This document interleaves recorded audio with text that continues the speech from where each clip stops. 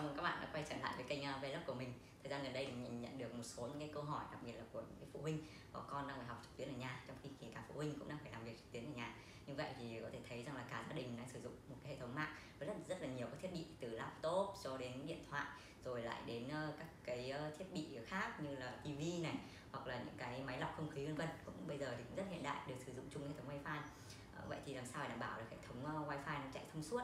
Rất là nhiều người gặp cái sự cố trục trặc về uh, wifi trong quá trình sử dụng. Thế thì uh, ngoài yếu tố khách quan là cái việc mà ví dụ như ba ngày vừa qua thì hệ thống cáp quang bị đứt hay là những vấn đề về chúng ta sẽ phải lựa chọn một cái nhà mạng sao cho nó phù hợp? Thế thì uh, mình sẽ có một số những cái chia sẻ về uh, kinh nghiệm trong quá trình mình sử dụng thực tế trong một số năm gần đây. Thì uh, đây chỉ, chỉ là những cái kinh nghiệm mà mình uh, sử dụng được thôi. Cũng không phải là lời khuyên của một chuyên gia nhưng mà hy vọng nó sẽ cho rất là nhiều những cái ờ, gia đình đặc biệt là có con nhỏ đang phải ờ, sử dụng hệ thống wifi làm sao để đảm bảo cho các bạn học tập được tốt nhất.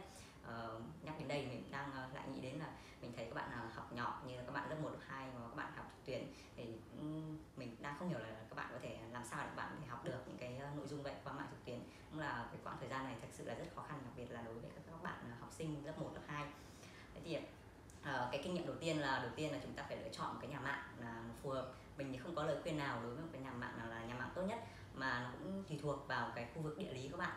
Vì hệ thống ờ, mạng thì nó cũng tùy do nhà mạng thì người ta phát triển. Có nơi thì nhà mạng này phát triển lâu rồi, hệ thống nó cũ một nhà mạng khác ờ, nó mới đến phát triển hệ thống của nó mới hơn. Nhưng mà chỗ khác thì nó lại có thể ngược lại. Nên là cái này thì nó phải dựa vào tùy từng đặc điểm địa lý cũng như là kinh nghiệm thì các bạn phải hỏi những người xung quanh. Uh, những cái người mà đã ở đấy trước đấy rồi và sử dụng mạng thì nó sẽ phù hợp hơn. Uh, tiếp bước tiếp theo thì là mình sẽ hướng dẫn ờ, một số những cái kinh nghiệm về chúng ta thiết lập hệ thống uh, modem wifi. Thì thông thường những cái uh, các bạn thể thấy là gia đình thì thường là có một cái cục uh, modem wifi do nhà mạng lắp sẵn.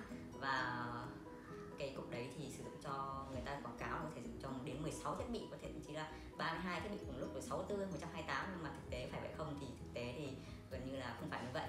Thế thì uh, mình uh, có thiết lập cái hệ thống uh, như thế nào đặc biệt là trong căn căn chung cư không có nhiều ngóc ngách nhà nhiều tầng. Thế thì uh, mình có làm cái bộ bus wifi đây là một cái những cái thiết bị uh, tương đối là mới và phù hợp với điều kiện hiện nay.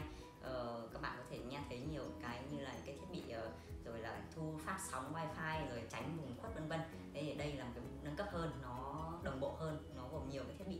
mình sẽ à, đi giới thiệu cho các bạn hệ thống của mình vừa thiết lập ở trong nhà. Và bây giờ mình sẽ à, đi giới thiệu cho các bạn về cái hệ thống à, wifi mà mình vừa thiết lập.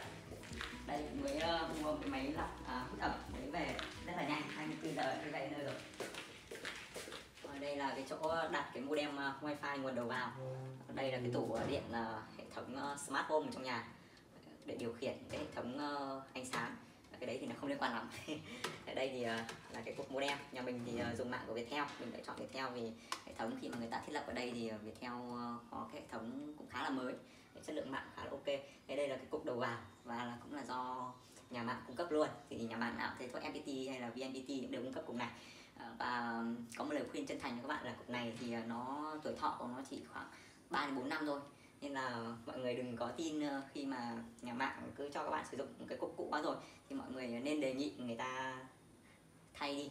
Ờ, đôi khi là kỹ thuật đến bảo không sao đâu anh ạ, nhưng mà các bạn đừng tin. Và cứ đề nghị người ta để chắc chắn người ta sẽ thay và hoàn toàn miễn phí. Các bạn biết rằng là một cái cục thiết bị điện tử mà nó chạy 24 trên 7 như này thì ờ, 3 năm là vòng đời ờ, đã là quá là lâu rồi. Khi nó già rồi thì tốc độ và khả năng xử lý của nó chắc chắn là chậm. Mình đây, cái cục này mình cũng mới thay cách đây mấy tháng và cũng miễn phí. Cục này nó chuyển sang cục bằng hai băng tần. À, tuy nhiên thì các bạn để thấy rằng là mặc dù có một thiết bị như này rồi nhưng mà nhà thì có rất là nhiều góc ngách ờ, rất là nhiều tường các thứ. Nên là hệ thống như này thì ờ, khi vào các cái phòng ngủ hoặc là cái nơi xa này nhiều cái ờ, phòng tường nó chắn lại thì thực sự là chất lượng mạng rất là thấp. Nhiều nhà thì sử dụng thêm một cái cục thu phát sóng wifi 200 nghìn gì đấy không cắm một cái vị trí ở đấy. Thế nhưng đây mình sẽ giới thiệu thêm cho các bạn về hệ thống mà mất wifi. Nó kết nối nhiều cái cục thu và phát wifi mà cùng một chủng loại ở đây thì ờ, hệ thống này thì ở trên ờ, các cái hãng như TP-Link hay Totolink thì ờ, có rất là nhiều. Giá của nó từ vài trăm nghìn cho đến vài triệu cũng có. Nhà nào mà dùng Google Home có thể sử dụng của Google nó thì càng tốt. À, tuy nhiên thì nhà mình thì do là nghèo nên ra là nhân tiện Viettel nó có cái hệ thống home wifi thì chuyển đổi gói luôn nên là người ta cung cấp miễn phí. Ở đây thì nó có ba cục à, à, tùy từng nhà nhà nào bình thường thì hai cục nhà nào mà to hơn thì phải ba bốn cục. À, à, nhà mình thì khoảng uh, 90 mét vuông thôi nên là ở đây thì mình thiết lập ba cục. À, thì một lưu ý cho các bạn là cái cục này thì chú ý là không nên để nó thu sóng từ cái cục nguồn này mà chúng ta phải cắm uh, trực tiếp vào cái mạng uh, WAN vào đây uh, dây mạng WAN vào đây. Uh, thì uh, phải thấy là một lời khuyên là tốt nhất là nếu mà các bạn ờ, muốn mạng ổn định thì chúng ta sử dụng mạng LAN tức là mạng dây cắm dây là tốt nhất. Ờ, là mạng ổn định nhất. Nhưng trong điều kiện mà nhà mà cứ đi dậy dợ lung tung thì nó không đẹp. Nên là chúng ta sẽ sử dụng những cái cục mét này thì cái cục uh, đầu tiên của nó thì các bạn uh, phải cắm dây. Uh, uh, đây thì uh, thằng này thì khi đấy thằng này sẽ không đóng vai trò phát wifi nữa. Nó chỉ uh, truyền tải mạng cục này. Thằng này sẽ là cái thằng đóng vai trò là cục uh, phát wifi đầu tiên. Uh, uh, cục này thì mình đặt ở đây luôn. Uh, đặt ở chỗ này luôn sau đó thì uh, nó sẽ còn những cái cục uh, số 2, số 3 nữa sẽ đặt ở những vị trí khác thì mình sẽ đi giới thiệu cho các bạn. Đây là cái vị trí uh, thứ hai uh, mình đặt cái uh, nốt mạng đấy. đấy. Ở đây thì uh, mình lựa chọn vị trí là phía sau tivi này. Nó cũng khá là kín đáo. Và mình lựa chọn vị trí mà nó không bị cản quá nhiều so với cái uh, nốt đầu tiên. Uh, cùng lắm là nó nên uh, có thể cách nhau uh, một tường 10 phân thôi. Ta không để uh,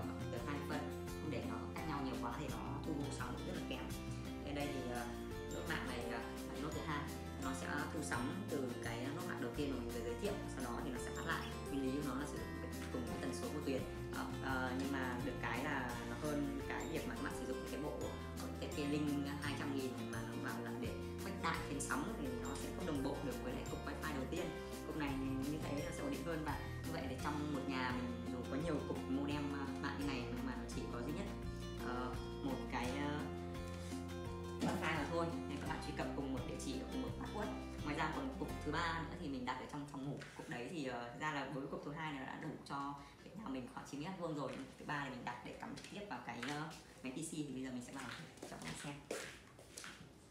Cái vị trí thứ ba mà mình đặt cái ờ, cái nốt đây cái nốt số 3 nó nằm đây. Nốt này thì ra nó không có nhiều tác dụng lắm trong nhà mình nhà mình cũng bé. Ở đây thì mình đặt ở đây để thu cái sóng wifi và cắm cái đầu mạng LAN này vào máy tính. Thế thì ở đây thì mình đặt ở đây thôi ra là mình làm này tại vì là cái máy PC này nó cũng hơi cổ rồi đâm ra là thế một số máy PC đời mới nó có sẵn cái card wifi rồi thì thực ra cái này nó không cần thiết nữa. Đấy, đấy là một số cái chia sẻ. Ngoài ra thì uh, một số các phụ huynh thì có hỏi mình là bây giờ mà chị các bạn nhỏ các bạn ấy uh, sử dụng máy tính nhiều thế thì uh, làm có hại mắt không? Thì thực ra là đúng ra là vẫn tương đối là hại mắt các bạn ấy. Bởi vì là màn hình máy tính bây giờ thì thông thường là các màn hình led uh, thì uh, màn hình led thì uh, mọi người thể kiểm tra trên mạng thì thực ra nó có cái phần ánh sáng xanh tương đối hại mắt Thế làm thế nào thì thực ra là mọi người có thể tìm kiếm một số những cái laptop mà đời mới bây giờ hoặc là một số màn hình đời mới thì nó có một số những công nghệ hạn chế ánh sáng xanh này. Nó chỉ mang chất hạn chế thôi uh, cũng không hoàn toàn tốt được. Thì uh, cái giải pháp chủ động hơn là trong quá trình các bạn đi học thì uh, nên để cho các bạn ấy khoảng 20 30 phút thì các bạn nên nghỉ uh, một chút. Rồi là mắt thì uh, nhìn về xa hoặc là các bạn công khoảng uh, nhìn khoảng 10 giây hoặc 20 giây để uh, cái đảm bảo uh, mắt uh, hoàn tốt và không bị ảnh hưởng quá nhiều bởi vì cái ánh sáng của của cái màn hình. Ờ, thế thì ờ, đấy là những cái chia sẻ ờ, hy vọng là trong quá trình mà làm việc và giúp các cháu nhỏ học tập ở nhà thì chúng ta có những khoảng thời gian là tương đối là khó khăn. Nhưng mà cũng sẽ có lẽ là kỷ niệm đáng nhớ và rất mong mọi người sẽ có khoảng thời gian làm việc vui vẻ và có hệ thống wifi nó tốt. Hệ thống wifi này thì nếu mà mọi người mua thì theo như mình tìm hiểu thì các cái nhà mạng như Viettel, FPT, VNPT thì nó bây giờ đều có cái ờ, gói cước ờ, để ờ, cung cấp miễn phí cái bộ Must Wifi này. Thì mọi người có thể đề nghị phía bên nhà mạng người ta chuyển đổi thay thế thiết bị wifi đồng loạt cùng với hệ thống này. Đôi khi có thể người ta sẽ khó khăn một chút về nhưng mà về tổng thể thì cũng sẽ không sao đâu các bạn cứ đề nghị. Bởi vì là người ta là phía cung cấp còn mình là phía người dùng dịch vụ nên mình cứ yêu cầu. Như mình thì mình trong đợt tháng 5 yêu cầu rất là có thể nói là tương đối là gay gắt đối với phía bên nhà mạng thì họ cũng mang thiết bị sang uh, thay cho mình. Thế thì hy vọng là các bạn sẽ tiếp tục theo dõi ủng hộ kênh uh, Vlog của mình. Xin chào và hẹn gặp lại.